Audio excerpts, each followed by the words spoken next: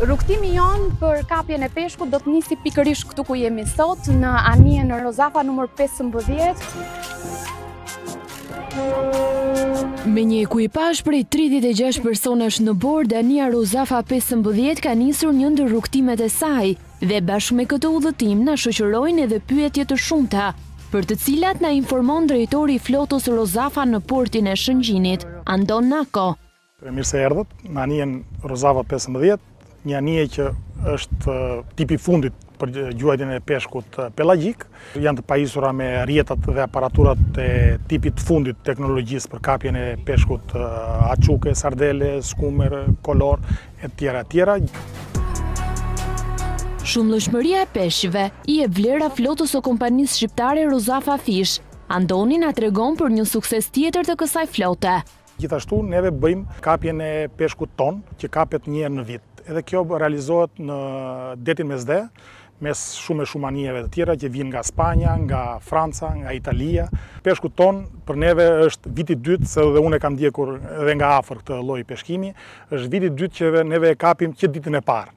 Domethënë momentin që ne sa fillon operacioni i peshkimit, Neve kemi qenë të suksesshëm edhe kemi arritur ta kapim brenda një dite. Gjithë peshkun, ajo është në një sasi diku te 160 ton.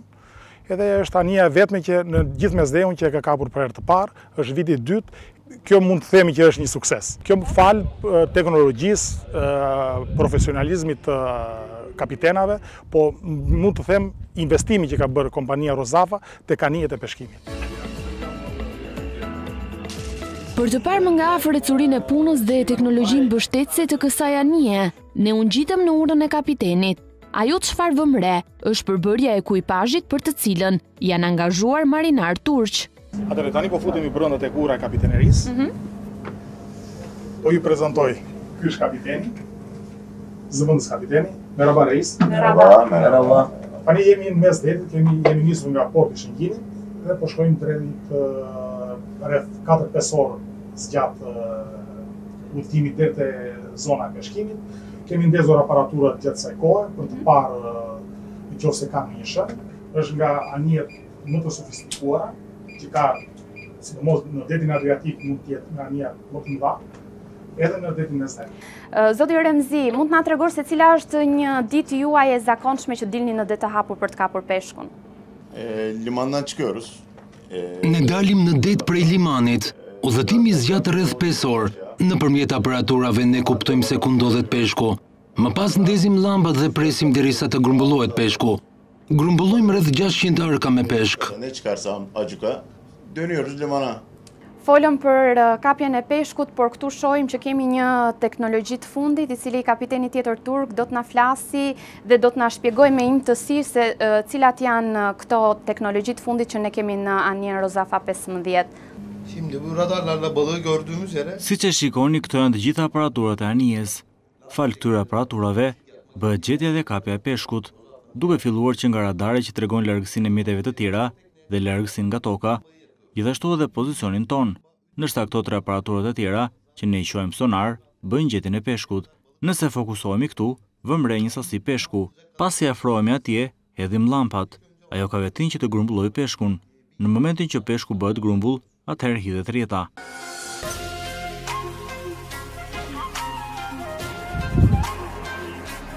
Anija Rozafa 15 vazhdon lundrimin e saj, bashkë me të dhe koha ecën.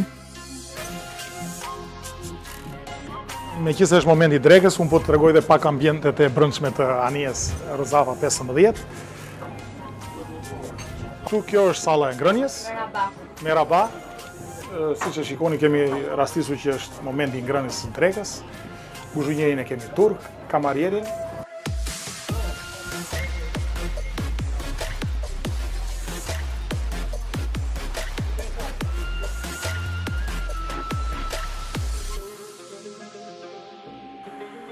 Qëndrimi me ditë të tëra në det bën që anija Rozafa t'i ofrojë ekuipazhit turk të saj edhe kushtet më të mira për të jetuar aty. Kjo anije ka personel njëzet e pesë veta. Njëzet e pesë, njëzet e gjashtë veta. Secili flen, këtu hanë, këtu flen, këtu punojnë. Këto dy dhomat janë dhomat e kapitenave.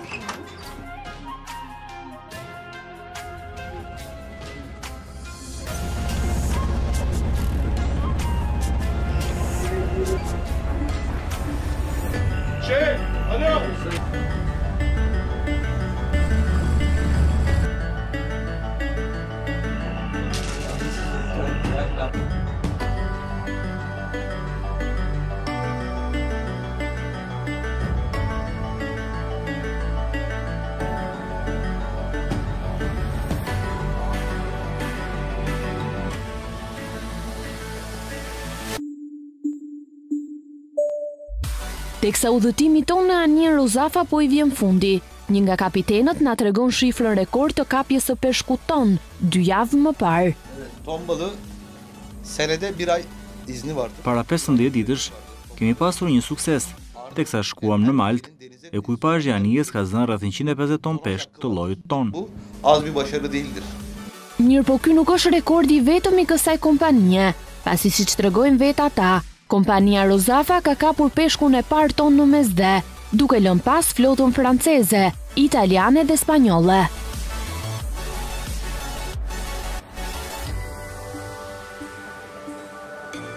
Rrugës për në kthim, punëtorët e anijes kanë kryer procedurën e seleksionimit të peshkut, teksa i afrohemi portit të Shëngjinit, Në horizont shfaqet një anije tjetër. Neve po shofim një anije të flotës tonë, mhm. pikërisht është Rozafa 19, që në këtë moment po del në peshkim. Iu urojmë suksese.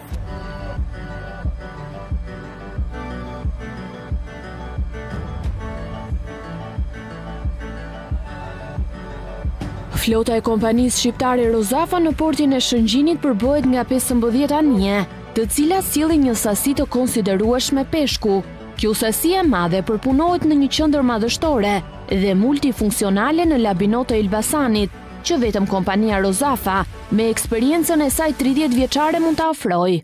Aty ku ndodhet qyteti i peshkut, i ngritur nga investitori zoti Gjergj Luca, me një qendër përpunimi të prodhimeve të detit, Fish City, ofron punësim real për 1.000 punëtorë.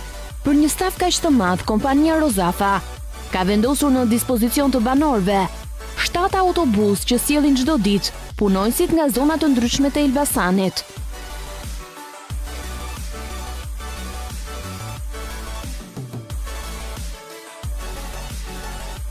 Fish City është kompleksi më i madh ku përpunohen prodhimet e detit.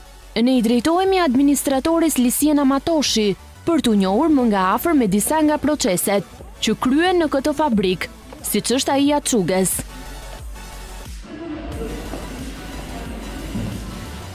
Procesi i parë mhm. i açukës së freskët është procesi i cili neve do ta vendosim në kripë. Ky është procesi i parë, i cilën neve fillojmë me pjesën e vendosjes në salamojë për një për një orë, hidhet ujë me kripë. dhe vendoset açukja. Më pas, pas këtij procesi do shkojmë te punëtorët të cilët marrin heqin pjesën e kokës dhe për pjesën e zorrëve. Po. Siç mund edhe ta shikojmë. Po. Mhm. Edhe vendoset nëpër vasketa, të cilët më pas do të shkojnë tek pjesa e paketimit nëpër Fuçia të cilët do të rrinë tre muaj të stazhonuar. Sepse ato duhet të marrin ngjyrën edhe shijen të cilën ajo ka. Më pak se tre muaj nuk mund të qëndrojnë, sepse peshku del i bardhë dhe pa ngjyrë. Mbas tre muajsh, nga tre deri në nëntë muaj duhet të qëndrojnë i kriposët, të cilët neve vendosim një datë me pecaturën të cilën ka peshku dhe me datën të cilën është prodhuar. Për shembull, Kjo fuçi këtu është prodhuar në datë trembëdhjetë e gjashtë dy mijë e njëzet. Mas tre muajsh neve do të marr do të rifillojmë procesin tjetër i cili është procesi i filetimit të açukes. Açukja e kompanisë shqiptare Rozafa është një nga produktet kryesore në llojin e saj në dy vende të botës. Neve jemi referent në pjesën e Italisë dhe në pjesën e Spanjës, gjithashtu bëjmë edhe pjesën e shitjes që kemi në supermarkete dhe në tregjet tona shqiptare.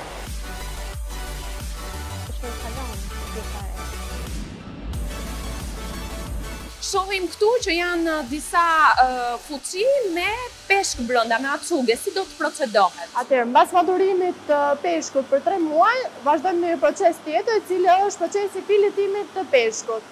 Qëndron tre muaj i kriposur, më pas vazhdojmë me procesin që do ta ndjekim dhe tek makineria e larjes, që qëndron në gjashtëdhjetë gradë, që lahet me gjashtëdhjetë gradë. Kalon më përpara fillimisht në salamojë, më pas vendoset te makineria e larjes, kalon në temperaturën gjashtëdhjetë gradë, më pas kalon në procesin e tharjes të cilën vendosen në centrifugë për dy minuta, më pas kalon tek punëtorët, bëjnë pastrimin e tyre duke hequr shtyllën kurrizore dhe pjesën e barkut, ripaketohet dhe më pas është gati për eksport.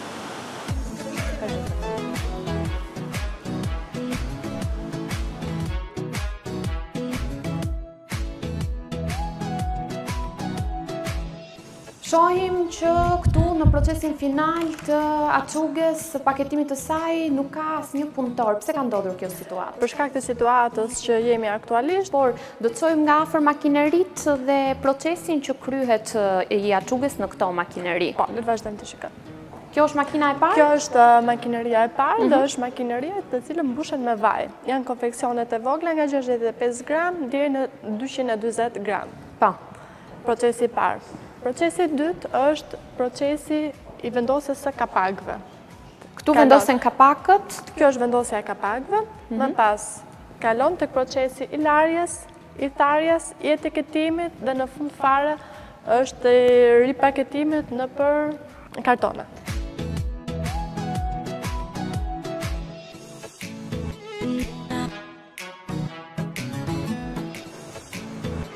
Karkaleci është një tjetër produkt në Rozafa Fish City, që i nënshtrohet proceseve strikte të përpunimit. Kemi gjashtëdhjetë e pesë për qind të tregut europian dhe pjesën më të madhe të punëtorëve që merren me këtë proces pune. Do të shohim më nga afër punën në këtë pjesë të fabrikës? Po, do të na duhet vetëm t'i përshëndesim për shkak se rregullat janë shumë strikte dhe nuk mund të shkelim ato. Jemi të survejuar njëzet e katër orë në njëzet e katër nga klientët tanë. Përshëndetje, u lodhët? Punë mbarë! Karkalecat fillimisht shkrihen në vaskat e specializuara. Pas pastrimit, produkti i nënshtrohet procesit të kujdesshëm të larjes dhe të konfeksionimit në mënyrë që të jetë gati për eksport. Tabela që na shoqëronte në të gjithë këto procese ishte MSC, për të cilën pyetëm administratoren. MSC-ja është standardi më i lartë i cilësisë që neve i garantojmë klientëve tanë të cilët neve eksportojmë, sepse kemi 65% të tregut europian që neve eksportojmë çdo ditë. Jemi 24 orë në 24 orë të vëzhguar nga kamerat nga Londra, të cilët vëzhgojnë këtë pjesë.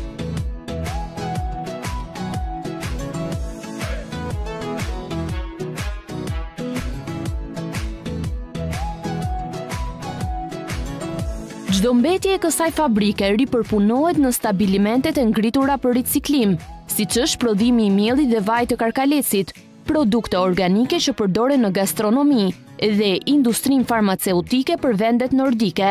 Gjithashtu, të gjitha kutitë dhe qeset ku janë vendosur produktet e detit, riciklohen duke i dhënë një rëndësi të veçantë këtij sektori, që të ketë zero mbetje të papërpunuara nga kompania Rozafa. Siç ju edhe e patë procesin të punës, mbetjet mbasi përpunohen, transportohen për në fabrikë, ripërpunohen këtu dhe dërgohen të gjitha për eksport. Nuk ka asnjë mbetje të cilën ne mund ta hedhim për në lumin Shkumbin. Ky stabiliment prej një viti riciklon edhe mbetjet e karkalecit, që vijnë nga fabrika tjetër që kompania Rozafa ka në Prrenjas, tek ish-parku i hekur-nikelit. Edhe kjo fabrikë përpunon karkalecin, duke gjeneruar punësim për 200 gra e vajza, gjë të cilën na e pohon edhe kryetari i Bashkisë së Prrenjasit. Dua të falenderoj shumë investitorin i cili dha mundësi Bashkisë Prrenjas që të ulim numrin e papunëve, nëpërmjet hapjes së njësisë prodhimit e cila është fabrikë e peshkut në Prrenjas. Ky është biznesi i vetëm i madh në Prrenjas që është person juridik dhe me kompani. Kështu që kjo është mirëpritur nga anë e banorëve të Prrenjasit. Edhe pse hapja e kësaj fabrike në Prrenjas do të gjeneronte punësimin më të madh për këtë zonë, kompania Rozafa u përball me vështirësi të shumta Në një kohë që kishte ndjekur bazën ligjore, ish-kryetarja e bashkisë së Prenjasit Miranda Rira e paditi zotin Luca për ndërtim pa leje. Bashkia për një farë kohe i solli pengesë për të filluar aktivitetin, derisa ka bërë një kallëzim penal për një ndërtim gjoja pa leje, një ndërtim i cili përderisa fabrika është marrë në një territor i cili ka qenë me certifikatë pronësie në emër të Ministrisë së Ekonomisë dhe i kalonte direkt sipërmarrësi i cili do bënte investimin për të hapur vendet e punës, nuk kishte pse për mendimin tonë të shkonte të bëheshin kallëzime penale për se për këtë përqasje. Investimi i kompanisë shqiptare Rozafa prej një viti është shtrirë edhe në stabilimentin më të ri në Çekres të Gramshit. Kryetari i kësaj bashkie e cilëson një investim strategjik të domosdoshëm për rritjen e punësimit në zonë. Pas këtyre viteve është hera e parë që një investitor i tillë vjen në qytetin tonë. Është një mundësi shumë e mirë për Gramshin. Ne kemi kërkesa të shumta nga shumë qytetarë, qytetarë të Gramshit, të cilët vinë te ne dhe interesohen kur do hapet, si do hapet.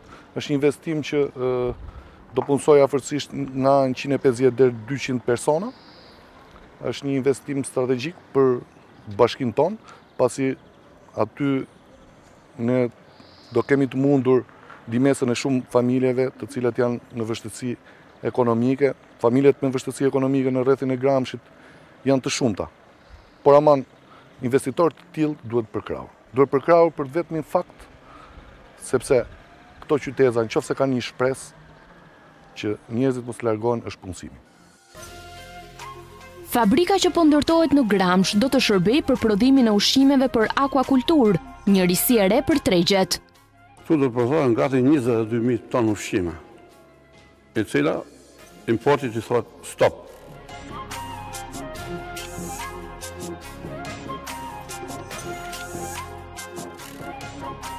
Rozafa nuk do të ndalojë rrugëtimin e vet të suksesit në det dhe në tokë, Ëndrrat e kompanisë Rozafa të kthyera në realitet, do të vazhdojnë për të rritur punësimin, frenuar emigracionin dhe fuqizuar ekonominë e vendit.